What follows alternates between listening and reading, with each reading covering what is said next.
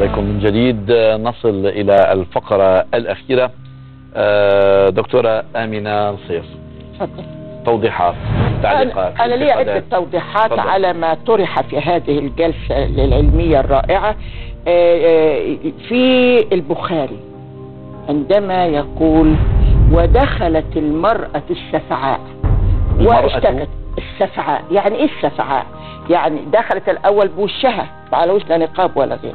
والسفعاء أي السمراء المشربة بالحمرة. نعم. يعني واحد ال- ال- الحديث في البخاري يصف المرأة بصوتها بوجهها ودخلت واشتكت ووصف وجهها أنها امرأة سمراء بحمرة. إذا مسألة الوجه دي الأغلب فيها الموروثات المتداخل فيها وحتى في عصر الصحابة. مثلا عبد الله بن مسعود قال لك لا ده لابد.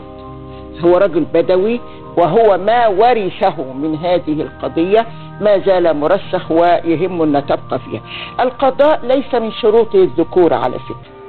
القضاء هناك مثلا الإمام الطبري وهناك الإمام ابن حزم كلاهما لا يشترط الذكورة بالنسبة للقضاء لل- لإمام الأئمة أبو حنيفة كان توسط في الأمر قال لك تعمل في القضاء في كل ما يؤخذ به شهادتها وحجز عنها الجرائم اللي هي فيها الدماء.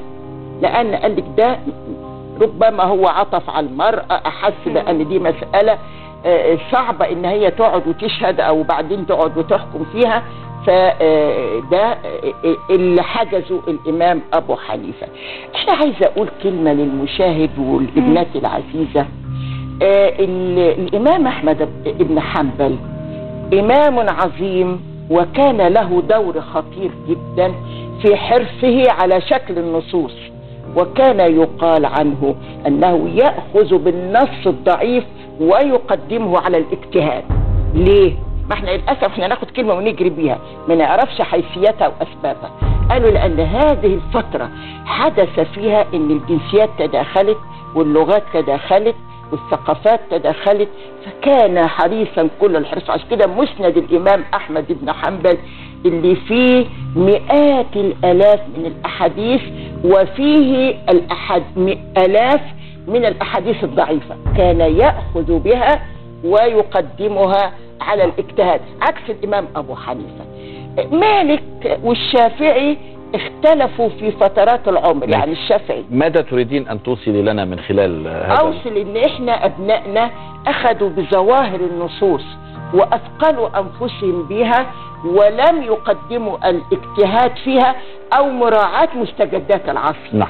أنا في عصر الآن عزيز علي إن أنا اقود سيارة وأنا مستخبية. أين أنا حق ان انت اللي بجواري؟ معلش على التشبيه. ان انت اللي بجواري تحملي سكينة ولا تحملي رشاش وخاصة إحنا في مجتمع بقى ممتلئ بالقضايا وممتلئ بالأمور المخيفة. أكيد هخبيها تحت النقاب يعني؟ لو أنا لابسة جيبة أنا مش بتكلم عليك أنت. أنا بتكلم على المنتقبة التي تقود السيارة ليس اللي إحنا دلوقتي بقينا كلنا بالهوية. أدخل البنك بوجهي ومعرفتي. أركب الطيارة بوجهي. أقود السيارة بوجهي. أدخل دور عياده الأمن. بوجهي. يعني لا تحرميني حقي إن أنا أعرف من التي تسير امامي أنا ما بحرمش حق واحدة تلبس اللي هي عايزاه. ما بقولش اللي بشعرها البسي يا برضه طرحه. ما يجيش غيري تقول لي ارفعي نقابك أو اخلعي عشان أشوفك. دي حريتي الخاصة اللي أنا اخترتها وأين لنفسي. حريتي أنا؟ حريتك استعملتها في لبسك. ما يجيش حد يفرض حريته على لبسي. وأنت المواطنة معي في المجتمع. وبعدين مسألة الأمن والأمان دي شغلة الأمن مش شغلتي أنا. لا، لا، ما يجيش يقولوا لي إيه شيلي نقابك خالص علشان الأمن. لا في دلوقتي آه، آه، نساء مسؤولين عن الأمن. دي وظيفتهم مش وظيفتي. بيروح على البيوت. أنا لسه. هقول لك من شهرين. أنا نزلت من العربية كنت في حلقة وطلع على السلم. لقيت واحدة زي بنتي العزيزة. يا دكتورة يا دكتورة استنى عايزه أسألك حاجة بس طلعت كده. قالت تسأليني إيه الساعة 12 بالليل؟ ومن ادراني إن أنت ست أصلا؟ ومن ادراني إنك لا تحملي سلاح رحت مكملة السلم وداخلة الأسانسير. في هنا سؤال، صححت لماذا. لماذا لماذا يعني آه البعض يسأل يعني لماذا دائما على المرأة هي أن تخفي كل معالم إثارة الرجل ولا يفرض على الرجل أيضا بدوره ولا أن يخفي هو. أيضا. كل يعني ما للمرأة إحساس ما للمرأة شعور يعني مثل مثل ما إنه على المرأة أن تخفي شعرها أن تخفي آه، جسدها أن تخفي كل ما يمكن أن يثير الفتنة وغرائز الرجل لماذا لا يفرض هذا أيضا على الرجل كي. لا تثار غرائز المرأة. هذه هي السطوة ده نوع من السطوة هو غض البصر للطرفين للمرأة وللرجل. لأن قال لك قل للمؤمنين وقل للمؤمنين غض البصر للطرفين. تمام. طيب بس ما انت بالشكل اللي عم بتاع اللي, اللي انت موجودة فيه يعني مش أنا مش بحاجة غض بصري لأنه انت اوريدي بال آه، متدارية أصلا. بالطريقة اللي عملي اللي عملتيها.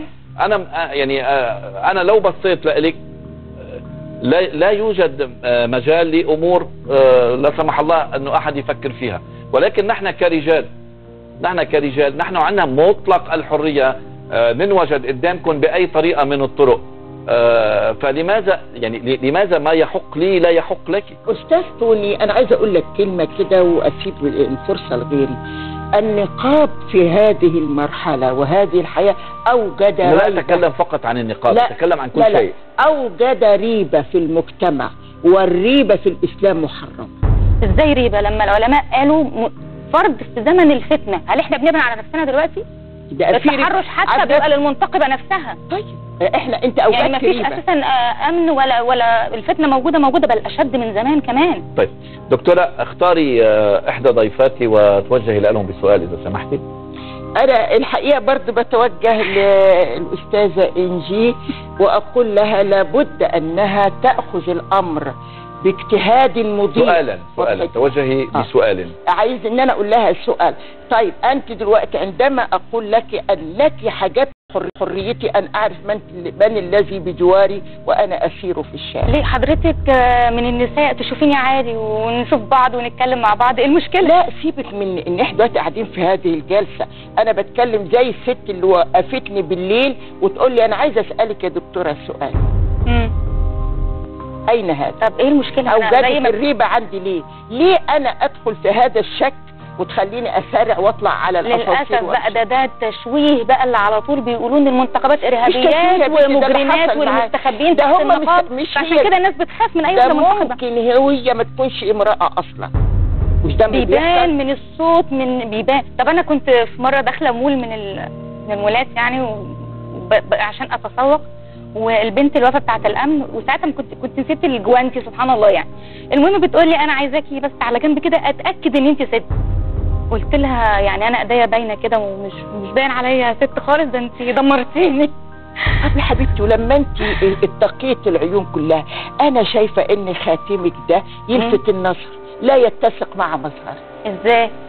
ما في دلوقتي عبايات بتبقى برضه مشغولة مش والناس. كلها بتخرج فيها. أنا أنا هذا المظهر ولذلك أنا بحب دايما أقول لباس المرأة المحتشم. المحتشم. المحتشم في المظهر يعني العيب مش في الخاتم أهو. يعني العيب مش في الخاتم. لا لا لا. انجي آه، ما هي أبرز تعليقاتك أو توضيحاتك؟ آه للدكتورة إن إزاي مرأة تقعد 12 سنة تنزف ولسه عايشة. في الطب حضرتك بتسألي ولا بتسألي؟ آه. لا من ناحية الطب طبعا إحنا لما بنقول بتنزف مش معناها إن هي بتنزل الكميات اللي, اللي تتعارض مع إن هي تبقى عايشة. لكن معناها إنه باستمرار في spotting في آه، تنقيط دم. ده اللي بيتعارض مع إن بيبقى هي أكتر كمان من النزيف معلش بس ده اللي حصل. وأنفقت كل معيشتها على الأطباء ولم يجدوا معها شيئا. وبعد كده هي أمنت إنه الله هو الوحيد القادر إن هو يشفيها. ولهذا قالت إن لمست هدب ثوبك أف- إيه، أشفى. كان بدك تنهي الحلقة بقراءة آه، أنا. بالظبط أنا كنت عايزة أقول إنه مثلا من اشهر الأمثال اللي هي اللي لسيدنا سليمان الحكيم النبي والملك المعروف. لكن كان مثلا يقول لك الامرأة الفاضل امرأة فاضلة من يجدها؟ ثمنها يفوق اللآلئ اللآلئ في ترجمتها الحقيقية الروبز الياقوت اللي كان بيتعمل عشان لو اتأثر ملك يفدى بيها. ثمن الامرأة الفاضلة يفوق اللآلئ. ده اللي جاء في الكتاب المقدس وجاء من أمثال سليمان الحكيم اللي اخواتنا المسلمين مقتنعين بيها تماما. فلندرس معا ده علشان يقول لك إليها يطمئن قلب زوجها. تعمل بيدين راضيتين. يعني وهي بتشتغل بتشتغل. تجلب طعامها من بعيد. تقوم قبل طلوع الفجر. لتعطي لأهل بيتها طعاما. تتأمل حقلا فتشتريه. يعني هي مش لازم تبقى بس في البيت. تتأمل حقلا فتشتريه. وبثمر يديها تغرس كرما. سراجها لا ينطفئ في الليل. أهل. بيتها لا.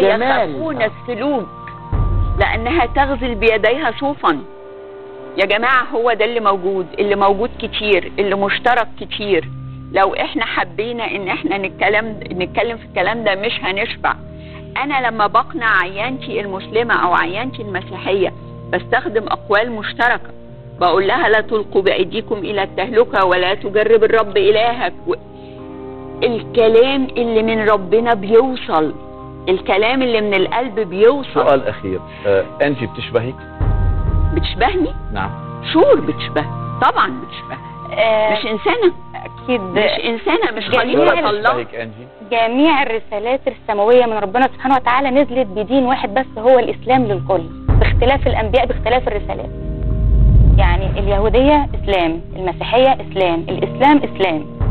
ده اللي أنا مقتنعة بيه تماما وعلشان كده هتلاقي تشابه كتير جدا ما بيننا في كل الكتب بتاعتنا. دكتورة بتشبهك مصرية زي طبعا.